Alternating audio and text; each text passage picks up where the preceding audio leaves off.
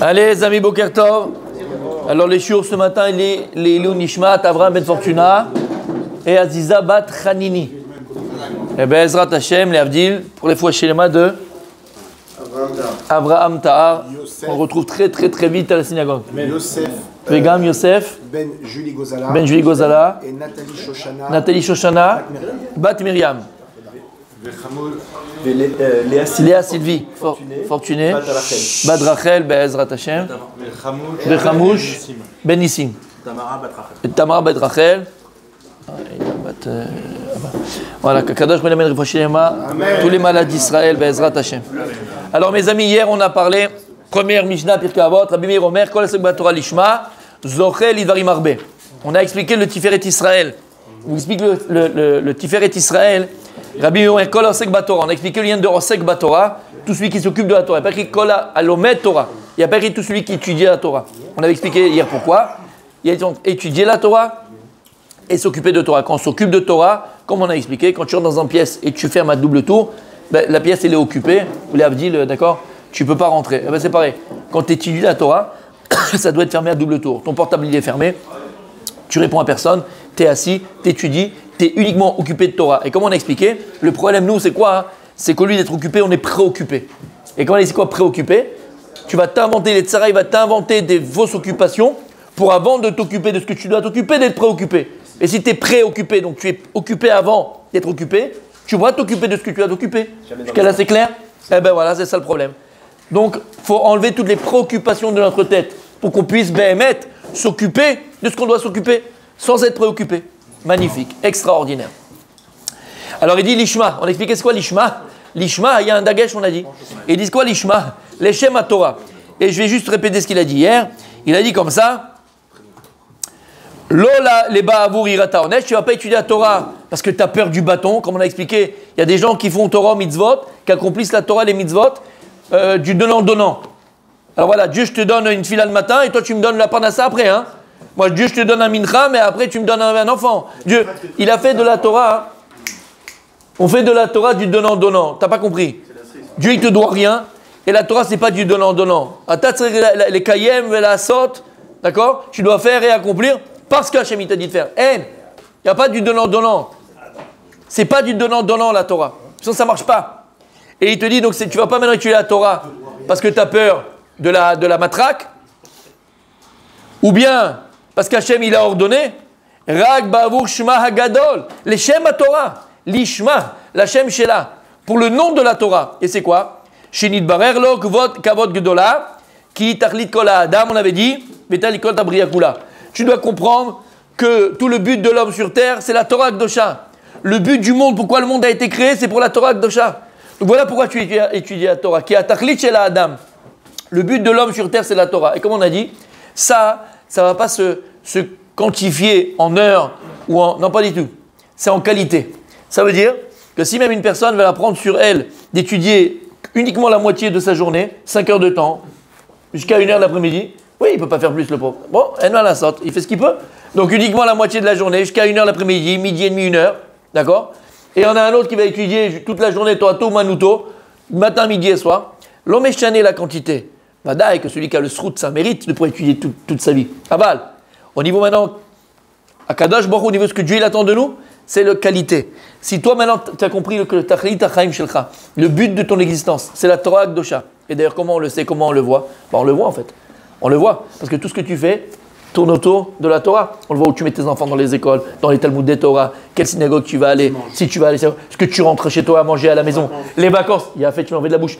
Et les vacances, les vacances.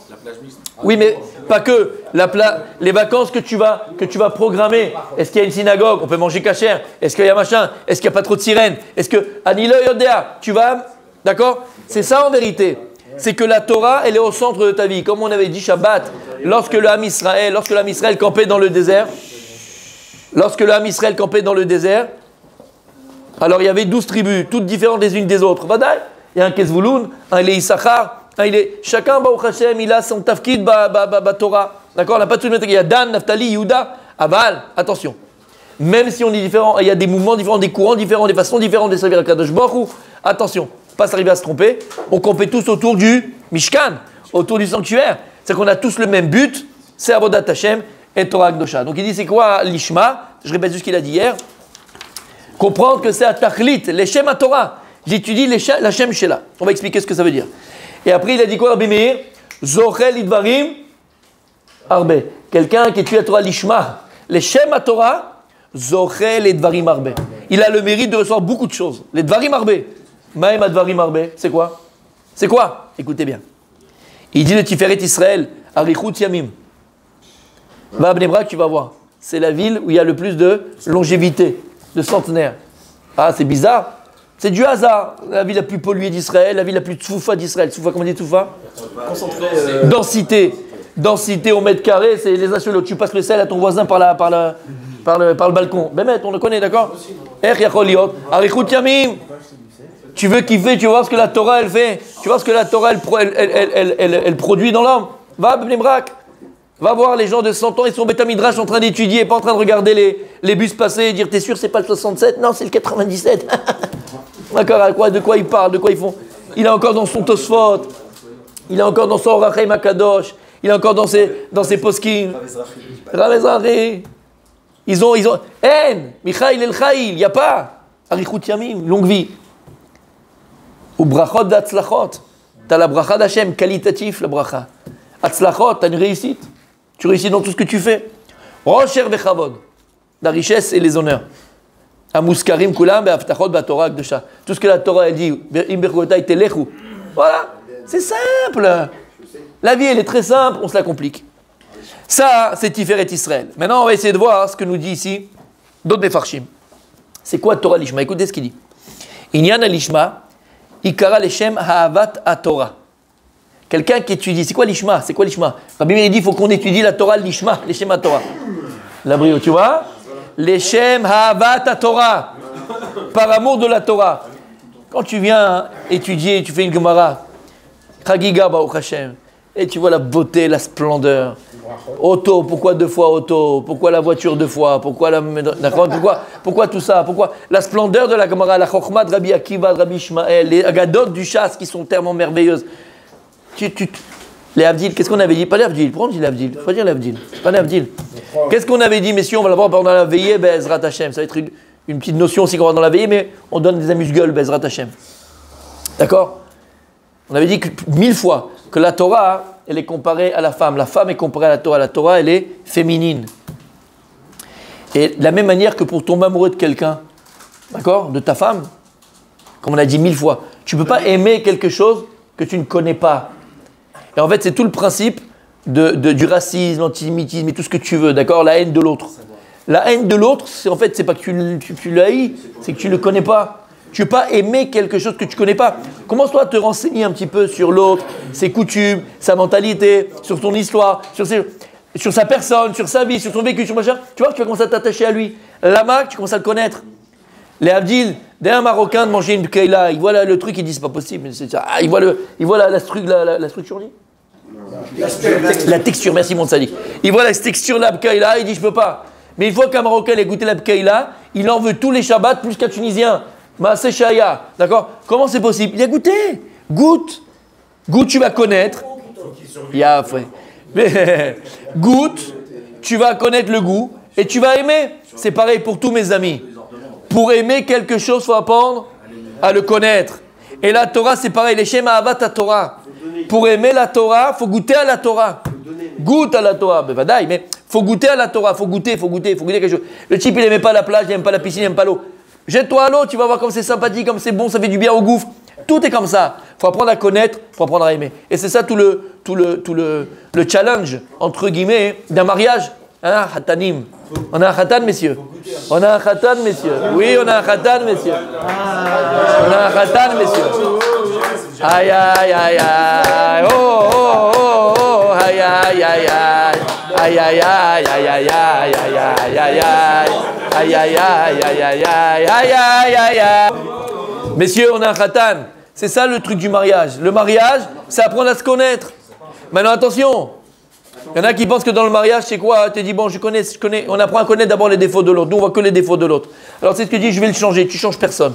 Apprends à connaître et voir ses qualités, ce qu'il est profondément à l'intérieur. Et c'est ça. c'est de ça que tu dois tomber amoureux, entre guillemets. C'est de ses qualités. C'est itronote. Mamash bifnim, qu'est-ce qu'elle est qu'est-ce que... Si tu tombes amoureux de ce qu'elle est profondément, alors tu as des chances, Bezrat Hashem, que ton mariage soit heureux et qu'il ait, Bezrat Hashem, une longévité.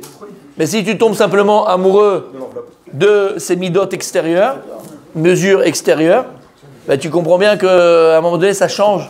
Zem à gouf mishtane. Le corps, il change. Donc, ton vite amoureux de ce qu'elle est avant de ce qu'elle représente. Shamata, il a fait. La Torah Akdosha, c'est pareil. Ikara leshem Torah. Il dit à Meir,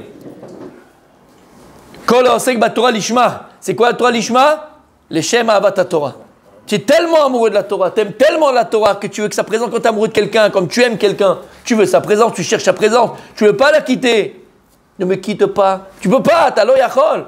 Mais la Torah, c'est pareil. Dès que tu as 5 minutes, tu n'es pas sur Candy Crunch. Dès que tu as 5 minutes, tu n'es pas sur Netflix. Dès que tu as 5 minutes, tu n'es pas sur en train de faire n'importe quoi. Dès que tu as 5 minutes, tu ouvres un livre. Tu vas apprendre euh, le parachat tu vas un Rochem Akadosh, un Kliyakar. À ta loyachol, tu peux pas, c'est ta drogue. Tu es fou amoureux de la Torah. Ça, c'est l'Ishma. Ça, c'est l'Ishma. T'étudies la Torah pour elle. Parce que tu as compris qu'elle était belle. Tu as compris qu'il y avait tout. À Forba, Forba, des là-bas. Alors il te dit, Leshem Avata Torah, Liga Amod al Shorasha. Se fatiguer pour elle, parce que c'est pareil dans l'amour. Quand est-ce qu'une personne sait que tu l'aimes? Quand tu es prêt à te donner pour elle, quand tu es prêt à faire des efforts pour elle, quand tu es prêt à Liga. Vela Amod al Shorasha, et de comprendre, de la comprendre. Une femme aussi, c'est pareil. Elle te dit souvent, mais tu me comprends pas, de toute façon, tu m'as jamais compris. ben ouais, c'est ça. Une femme elle attend qu'on la comprenne. C'est compliqué de comprendre une femme, c'est vrai, je suis d'accord avec vous.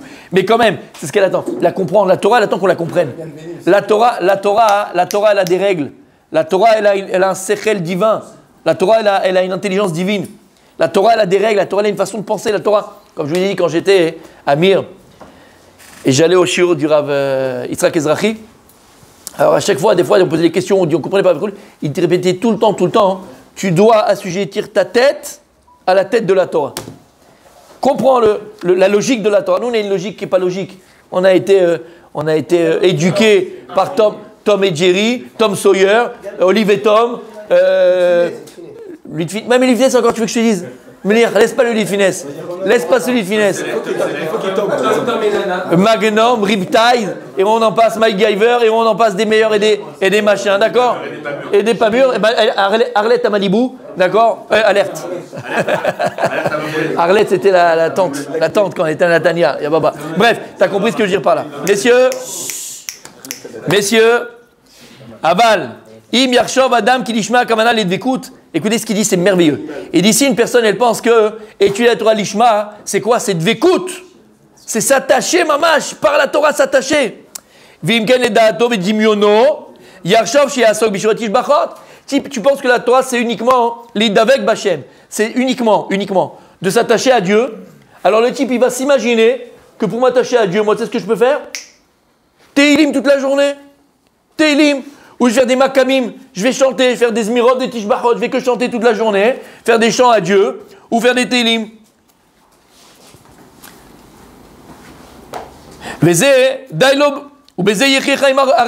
et il pense que lui ça suffit, ça suffit. Je fais télim toute la journée, je chante à Hachem, je vais avoir une vie tranquille. C'est ça qu'Hachem attend de moi. Avalokenu. C'est pas ça l'ishma, c'est pas ça que Dieu attend de toi. Qui midrash. On voit David Amelech il a demandé à Kadosh Borou que tout celui qui était en sec, Beshirot Ishbachot dans Teilim, tout celui qui lit Teilim, que ce soit considéré devant toi, Hachem, comme si quelqu'un était en sec, Benegaim Veohalot. C'est des Mishnayot, Negaim Veohalot, très, très, très compliqué. De Touma, parle d'impureté, tout ça. Et David Améler, il a demandé à Hachem, celui qui lit mon Sefer Teilim, Hachem, considère comme s'il avait étudié des passages très durs de Mishnayot. Et Akadosh, il a, il, a, il a dit oui. Hachem, il a refusé. Ben vada. Et tu compares ma Torah, il a été, entre guillemets, Hachem, il a réprimandé David. Tu compares ma Torah Gdosha à des chants et à des tishbachot. Tu sais, c'est quoi la Torah Gdosha Faut pas des coups là-bas. Donc il dit, le rab ici, attention, les fiches, karalimud, lola, sokra, bidvikut. C'est pas simplement que tu vas étudier pour te. Vada, qu'on on étudie aussi. Ça, met la découte pour s'approcher de Dieu, se coller à Dieu. Non, c'est pas ça le Ika. Ki im la sigal à Torah, à mizot vadinim. Tu étudies la Torah pour la connaître, on a dit. Et c'est quoi connaître la Torah Les, mitzvot et les dinim. Comment tu te lèves le matin, comment tu mets tes chaussures, comment tu fais ta douche, on est en train de le faire tous les matins. Par quoi tu commences La tête, le pied, le dos, le ventre. Bah, par quoi tu commences Voilà pourquoi tu étudies la Torah. Quand il arrive Shavuot, est-ce qu'une femme, est-ce que les femmes sont chayavot d'écouter le- le- le- le- les dix commandements? Ils sont là, les écoutes Yosef. Bémet, on m'a demandé, c'est bien, je réponds, dès que je réponds. Je réponds, Tzadik. Je suis là pour ça, je suis là pour quoi? Mais jusqu'à 120 ans, bonne santé, Bezrat Hashem. Et ne, n'aie jamais honte de poser la question. Je dis pas ça pour ça. Mais je dis ça pour qu'on avance.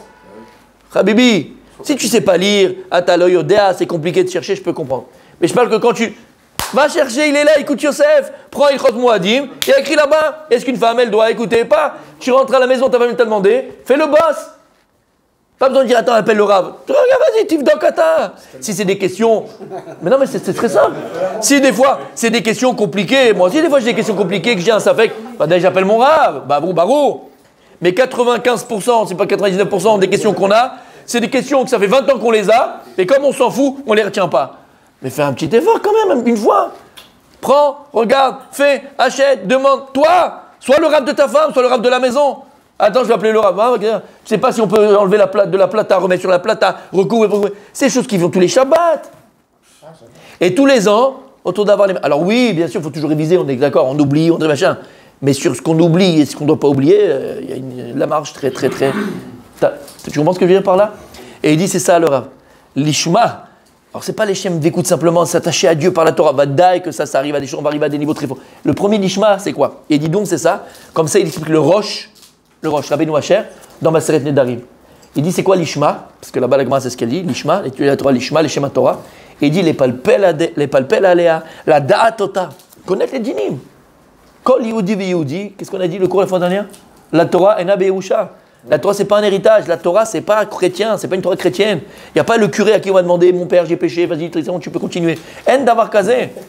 Après 120 ans, on posera exactement, enfin presque, mais parfois dans un sens différent, mais la même question à tout Yehudi, à tout juif. Pas parce que toi, tu as habité à Bnei-Brak ou à un quartier religieux de Jérusalem, toi, tu auras une question à part et lui une question à part. Tout le monde, on posera la même question. Kavata, itim la Torah.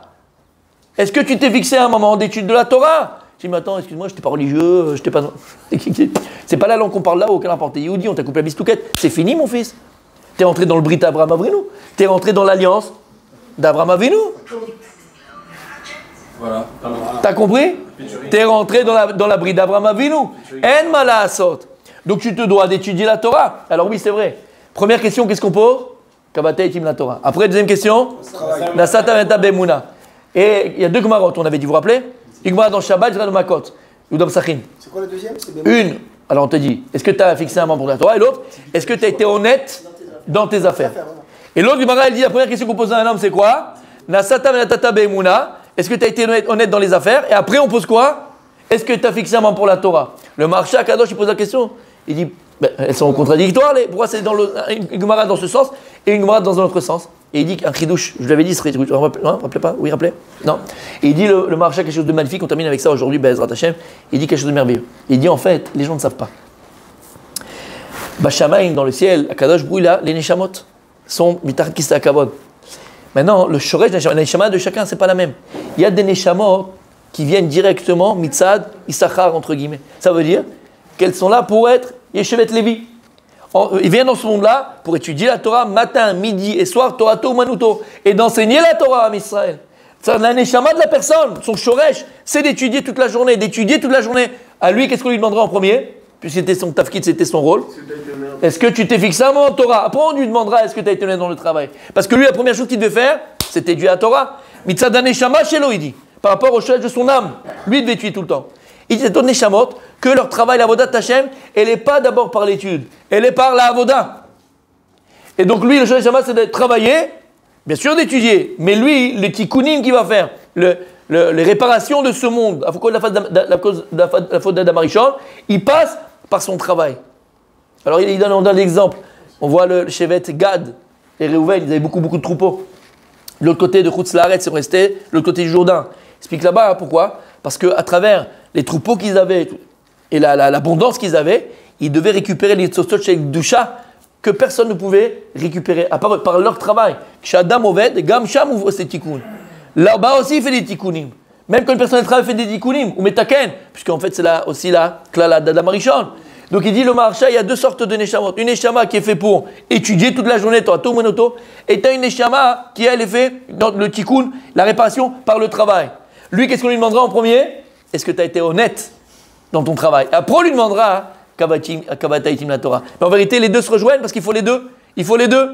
Tu as compris ce que ça veut dire? Voilà, messieurs. Alors, Bezrat Hashem, on continuera.